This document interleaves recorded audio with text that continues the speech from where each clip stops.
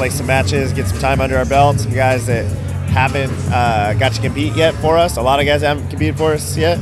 Got to be in here, and I think we got the nerves out. We got some work to do, but yeah, I like I like our guys. I like our people on our team, so it's fun. Cal Lutheran on January 5th. Uh, just an initial preview for them and what we can expect. Yeah, it's probably it's another team we don't have much information on, so uh, we know what we need to work on. We'll try to get better in the next few days and then compete.